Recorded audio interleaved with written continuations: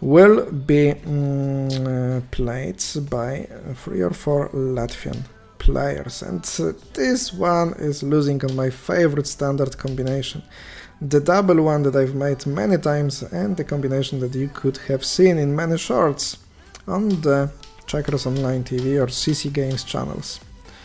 So it goes like that. The first phase of the combination and the second one after I made another additional column. He can actually take the piece back after attacking to 25, but he did not see it. He could force me. So that was a quick victory.